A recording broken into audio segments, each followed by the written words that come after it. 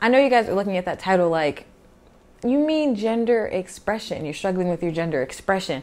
No, y'all, I'm struggling with my gender perception. Let's get straight into it.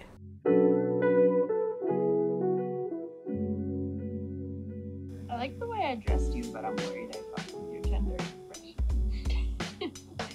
Hello and good morning, Skullies. Welcome back to my channel. My name is Savonne Pearson if you are new here, and welcome to this f***ery. As you can see, I'm wearing my still over it shirt. So this video goes hand in hand with my last video where I was talking about me still being over dating because I feel like dating and gender perception plays a lot into the lesbian community. So that's really what I want to talk about today. So I'm wearing the still over it shirt because I think I'm at that point where I'm like, you know what? Just just it all. F- the the the gender norms, all of that stuff. And I feel like a lot of us are at that point, but we're just kind of participating because we have to, or we're participating because we live in a heteronormative society. This video is going to be a lot like my still over dating video, so it's going to be another rant, as you guys said that you like that. So I will be telling you about my many experiences with how people have perceived my gender expression, perception, you know, how people have perceived my gender to be versus what my gender actually has been. And when I say gender, I don't mean they're perceiving me to not be a woman. I mean, they're perceiving me to either be on a masculine uh, spectrum or in like the middle. So let me get into definitions before we get straight into this video. So in the lesbian community, I've noticed, and I'm sure you all have noticed too, that there's a hierarchy of masculinity and femininity. There's this, this spectrum. And so you have the studs who are on the masculine side, and then you have the femmes who are on the feminine side, and then in the middle you have who do both or you also have no labels who don't identify with either. And there's a whole other bunch of different definitions in between there, but these are just the ones that I'm going to be referring to in this video. So because this video goes hand in hand with my still over dating situation, I'm gonna be talking about a lot of the same situations in that video and videos that I have posted before. It's just little things that I have left out because I really wasn't ready to face it head on. And to be quite honest with you, I was pretty embarrassed. But I feel like since I already dropped the beauty with is in the eye of the beholder video and then I dropped the still over dating, I just completely bared my soul and my my relationship videos. You guys you guys just know too much about me. So we're just gonna get close and personal. I hear I'm helping some of you by sitting here and talking about it. So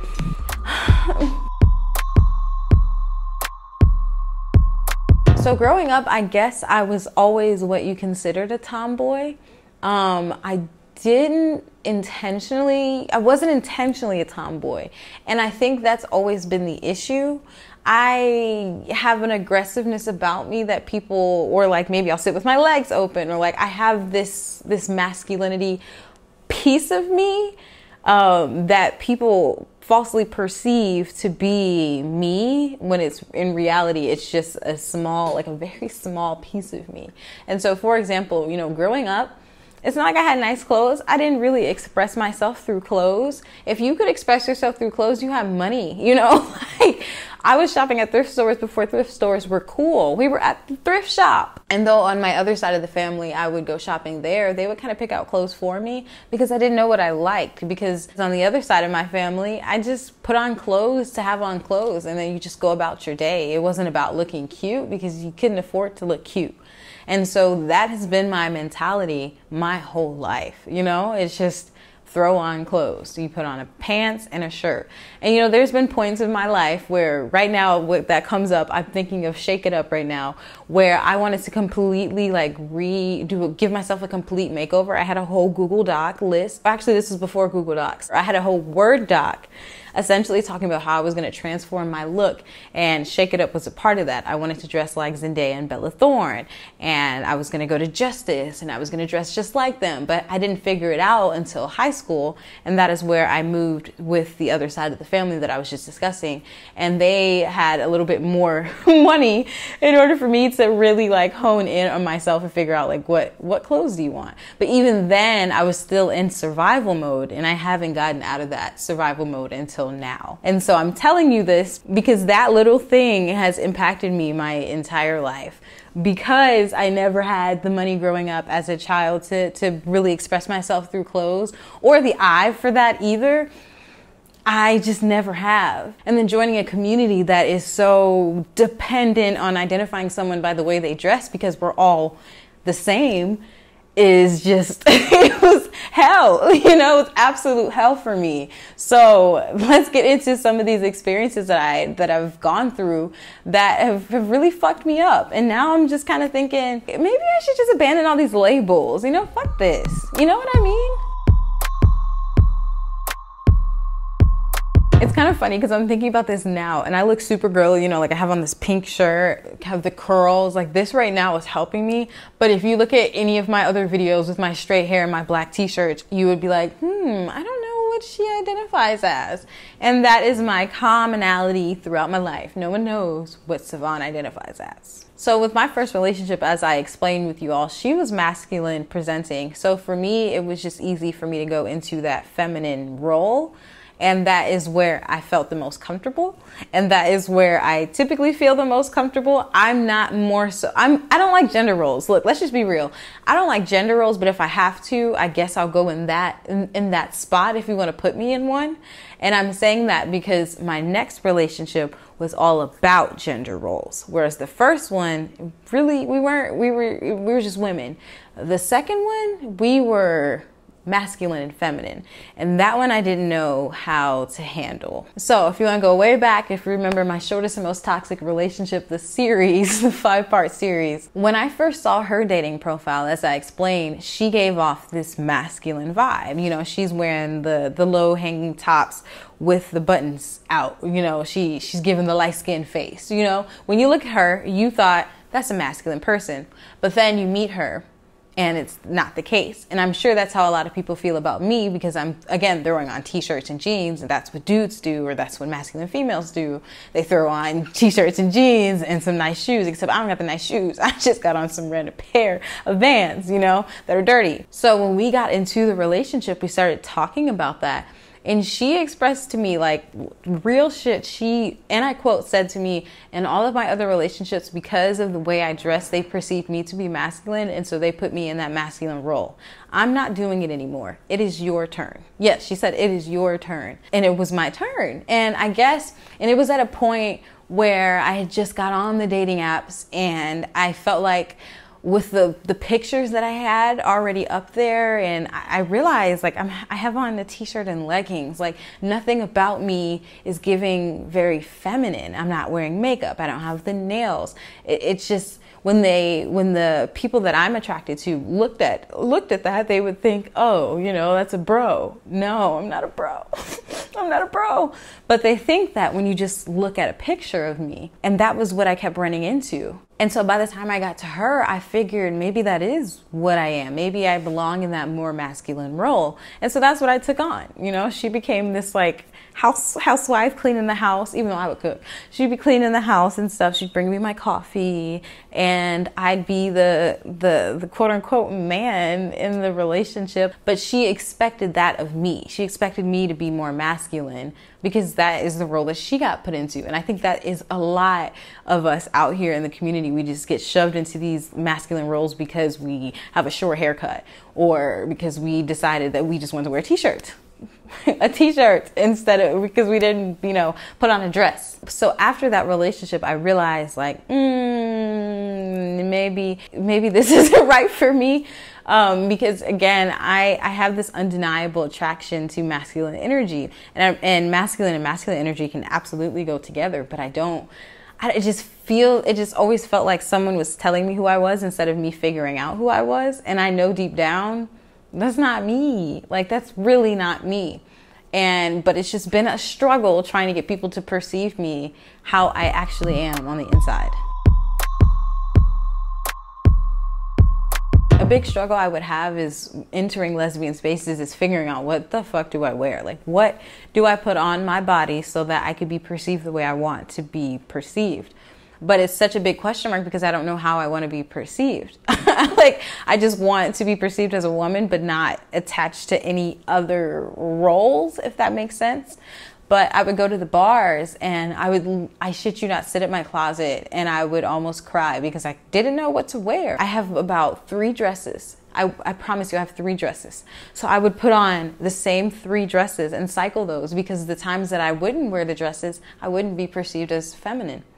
But the times that I would wear the dress is the time I told you about in the uh, my last video, the dating video, is when when when that person they they made me feel amazing, you know, and I got noticed finally at a bar, and it wasn't until I wore a dress that I looked feminine that I was able to get the attention that I wanted.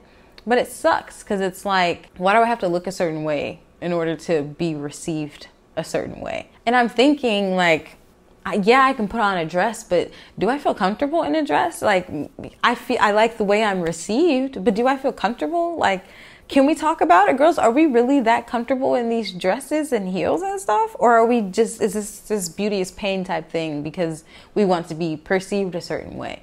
I want to know what the secret is because I just want to be comfortable and it's not comfortable. Like it's it's not comfortable to be that way all the time. It's not comfortable for me to have nails on. It's not. I work with cameras, equipment all the time. I can't have these long nails. How is this practical? But at the same time, it's like at the expense of what? I, I say all of these things, but at the expense of what? My dating life? It's just such an uncomfortable nuance and it, it, it makes it keeps me on my toes at all points in time.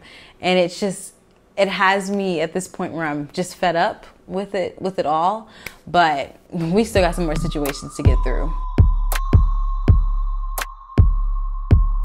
So this is a little bit of an additive of the situation that I talked about in my demisexuality and friendship video because I'm a little nervous. I'm gonna be real. I'm gonna be real. I'm a little nervous talking about this. So there's a lot of stuff I left out of that because I didn't want it to be a whole expose on that friend because that's just someone I really cared about. But this is something I'm not the proudest to say. But meeting her was one of those things that made me hyper aware of my gender expression. She was there at that point in time where I was thinking, maybe I need to go for a more masculine vibe. And so I'm going through this gender crisis of like, I think I'm just going to completely switch over and just go masculine because this is how people are keep, keep perceiving me. So this is obviously, this obviously must be what I am, correct? And then it wasn't until like our friendship continued and she would respect that and I would get angry at her respecting that because I realized that that wasn't who I was. I was just doing it because everyone has been pushing it on me. I saw she was a masculine presenting person. And so, from my perception of her, what I saw, she liked more feminine. She liked the makeup. She liked the nails. You know, that's what I, this is all what I thought. And so, I'm seeing that and I'm thinking, I am not feminine enough. I'm not good enough because I, need to somehow be more feminine in order to be accepted by this person, therefore, to be accepted by the whole community, if that makes sense. And so I would shit you not put on booty shorts to be around her. Like it was like I was trying to prove myself, prove my femininity to this person. I remember one time I went on set with some older lesbians, and I don't know if you guys know this, but older lesbians, they're a whole other different breed, especially older black lesbians. I don't know. I don't know. They are like carbon copies sometimes. I'm sorry if you're an older black lesbian, but sometimes older black lesbians are carbon copies of the heteronormative society where it's more so like there's a man and there's a woman. And I'm like, okay, you guys need to relax on that. So I remember going on this set and walking up and I had on my set clothes, jeans and a t-shirt and some boots and they're just looking me up and down and they're looking me up and down. They're like hey. I'm like hey you know hey how are you? I'm Savonne you know my my ha ha chipper chipper voice. And i can see the confusion in their faces like mm, okay. And they're feeling me out as they talk to me. And later on they they they start to tell me like oh i just i had no clue what to call you. Like i i just didn't know. Like what it what do you what are you you know? It's like i'm a spectacle you know? Like it's so odd for me to not be on either side of the spectrum. But it's not that I at the, at the, I identify as a femme at the mo- you know right now or at that moment I identify as a femme. So I was just so confused to be so perceived to be so for it to be so up in the air about who I was or who I am. One of the girls, she actually was just like, you know, maybe you're just a no label, you know, like tone just like this. Maybe you're just a no label. You're just uh, Savonne. There's there's nothing wrong with that. But it was the condescending notion of that that made me so angry. I don't know if it was the, the tone of her voice. I don't know if it was the fact that I felt like my whole femininity was threatened because this person decided to put me on the spectrum of the absence of femininity or masculinity, but just nothing, you know, that's not obviously that's not how I think of no labels now, but that's what I was thinking at the time. And and so to me I felt so insulted. I, I've always felt so insulted. Like what is it that people see when they look at me that gives off this masculine vibe? Like, yes, I am very aggressive. I can be, but at the end of the day, I will girl you to death. So I'm confused. I'm very confused. And the very last situation I want to discuss that really was just like, mm-mm, this is it. I'm done. I'm over this is I so I told you about the speed dating event that I went on. So long too long didn't read from the last video from my dating video. I went on I went to a speed dating event. I met a girl there. She was really cool. And then I ended up asking her what is she doing for Valentine's Day? But I wasn't thinking asking her what she's doing for Valentine's Day means that we're dating. I was just thinking, let's do a Galentine's thing because we're two women, but I was stupid. I was at a speeding event and I wasn't thinking. So I ended up having to take her on a date. So this is that date. I didn't talk about it much in that video, but I'm going to talk about it now. This girl, she's a feminine, she's a feminine woman. I don't know if that was already obvious. And me, I give off the tomboyish vibe. And so, of course, when you have that dichotomy, that dynamic, the girl will always think that you're the masculine one. And so I'm taking her on a date. I find the movie theater. She gets to choose the movie. I'm like, wait a minute. I want to choose the movie. Mind you, I picked this like dinner and movie place. so I pick a dinner and movie place. So we get there. The tickets are already $40. Then we get in there and then we have to pay uh, for the food in general. And so the issue is not the money. The issue is how it all went down. You know, the issue is, is the assumption that I'm the dominance. I'm the masculine. I'm the one that take care, takes care of everything that I just it, that set me off. And I think that's another reason why when I when I see feminine women that are interested in me, I kind of get a little off put because I'm not sure if they're expecting me to just court them. I mean, can we court each other? Like why? So, anyways, so she orders her food first, and then about like 30 minutes later, I order mine. And so I get my food, and she never gets her food. And she also she gets a drink, and turns out she doesn't like the drink. And so what she asked me is if I could ask the waiter if she could she get her drink switched. And I'm sitting here thinking,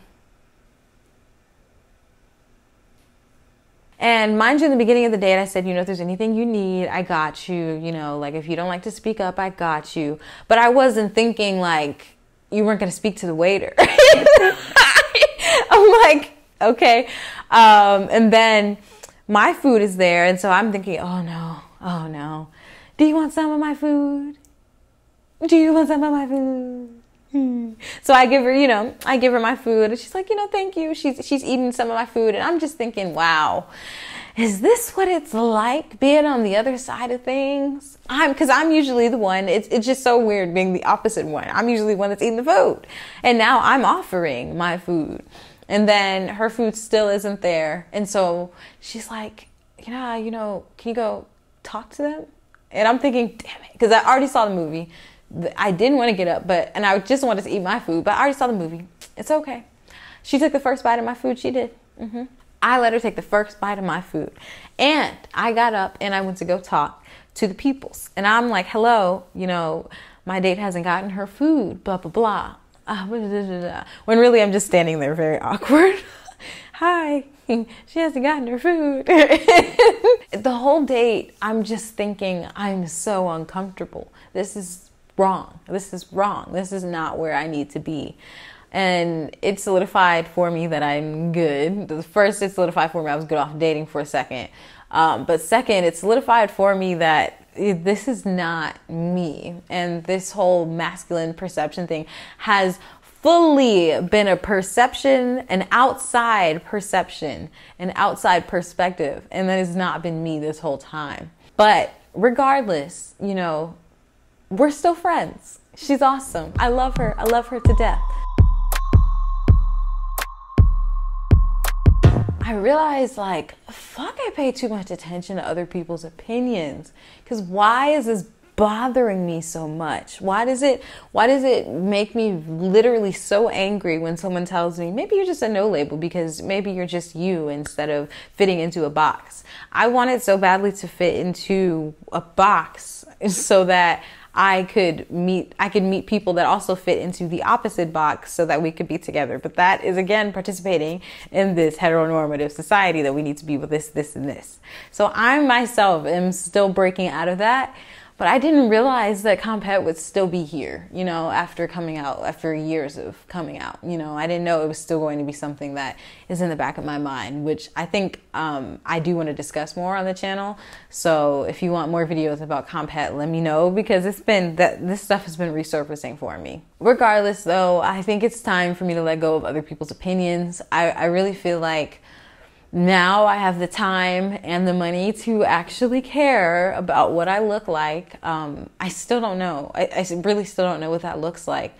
But I don't want to be under a microscope or labeled while I figure that out.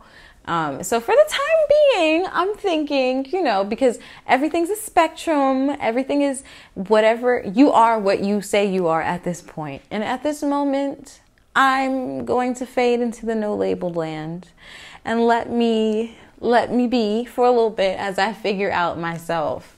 Um, I'm I'm so so sick of letting other people tell me who I am, and it's really trying for me to figure out who the fuck I am myself. So that's the journey I'm on now. Let me know if you guys want me to let you in on that process. I definitely look, I hate shopping. So if you want to come with me while I have anxiety attacks in dressing rooms, cool. I'll take you. You just got to let me know. I look, I'm down. I'm down to create whatever content you want to see. Hopefully, I'll still find somebody who will love me for who I am regardless of whatever I identify as. But I'm not dating anyway, so does that matter? we established that in the last video. I'm lying. I definitely joined dating apps again, so that's another video. Thank you guys so much for watching. I appreciate all of you beautiful humans. Um, this is me deflecting. I love you all very much, and I will see you guys in the next one. Bye.